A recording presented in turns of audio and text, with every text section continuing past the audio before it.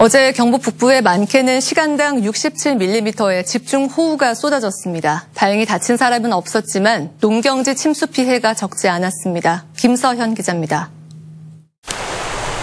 2,000평에 가까운 사과밭과 논밭이 인근 하천에서 밀려든 토사와 나뭇가지로 뒤덮여 쑥대밭이 됐습니다.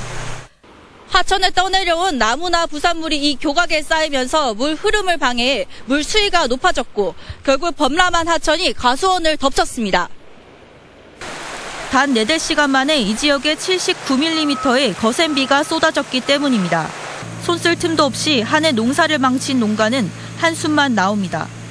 살린데 살려보고 안 되고 버려야 되고 너, 너는 아주 폐기 돼버렸고 말도 못하지. 다른 마을에서도 농어촌 공사가 설치 공사 중인 수로관이 매설이 덜 된 상태에서 하천이 범람해 인근 가수원이 침수 피해를 입는 일이 있었습니다.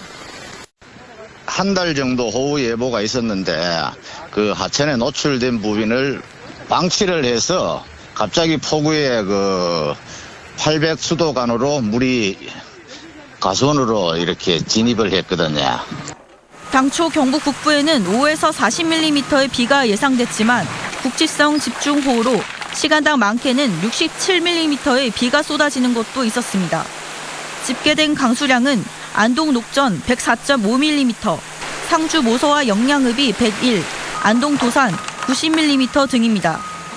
다행히 인명 피해는 없었지만 상주의 포도밭과 안동 고추밭 등 경북 북부의 농경지 15.5헥타르가 침수 피해를 입었고 안동 예안면의 농로 300m 구간이 유실되기도 했습니다. 토사 유출도 영주와 영양에서 각 한 건, 안동에서 두 건이 보고됐습니다. 특히 이번 집중호우 때는 박스형 교량 등 노후화된 교량과 수로공사 현장이 피해를 키운 만큼 적극적인 사전 대응이 요구됩니다. 앞으로는 항구적으로 이와 같은 문제가 발생하지 않도록 소하천 정비, 교량 정비, 배수로 정비 등을 차근차근 해 나가야만 될 것으로 생각이 됩니다. 기상대는 오는 23일에도 5mm 안팎의 비가 내리겠다고 예보했습니다. MBC 뉴스 김서연입니다.